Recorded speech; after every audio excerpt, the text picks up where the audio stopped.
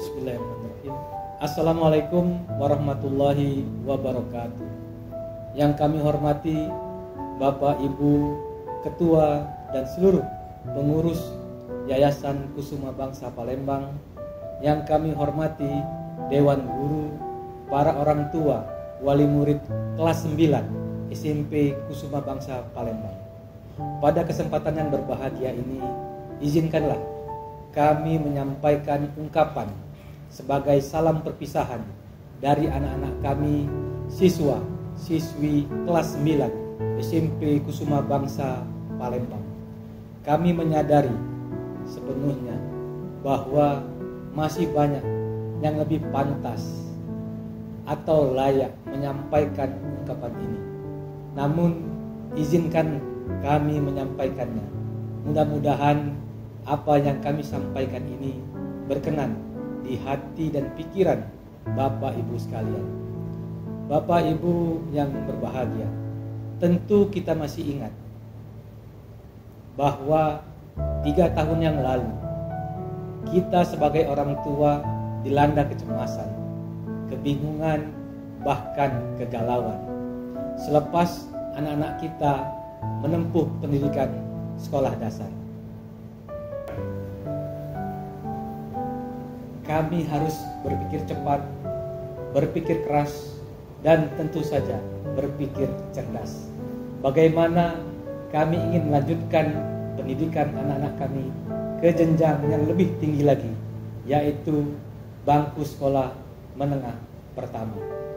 Dari sekian banyak pilihan, tentu saja kami sebagai orang tua telah mempertimbangkan dengan matang dan dengan sebaik-baiknya sehingga pada saat itu, tiga tahun yang lalu, pilihan kami semua akhirnya berlabuh di SMP Kusuma Bangsa Palembang. Anak-anak kami mengikuti proses belajar di SMP Kusuma Bangsa dan Alhamdulillah hari ini kita buktikan bahwa pilihan kami tidak salah. Pilihan kami tidak sia-sia banyak sekali perubahan dan kemajuan yang didapatkan oleh anak-anak kami. Mulai dari ilmu pengetahuan, pengalaman, etika, tata krama, kemampuan kognitif, intelektual, dan budi pekerti yang luhur selama mereka mengenyam pendidikan di Kusuma Bangsa. Dari yang tidak tahu menjadi tahu, dari yang tidak bisa akhirnya Alhamdulillah menjadi bisa.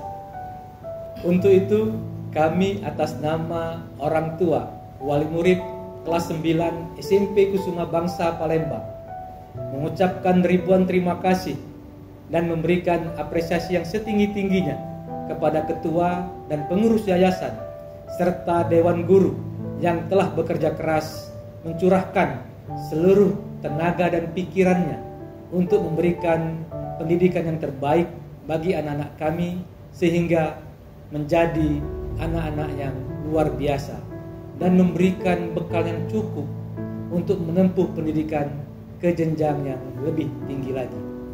Kami berpesan kepada semua anak-anakku, teruslah belajar dengan giat dan dengan sebaik-baiknya.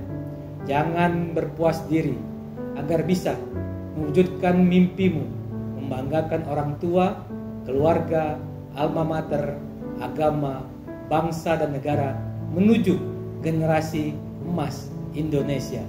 Terima kasih. Wassalamualaikum warahmatullahi wabarakatuh.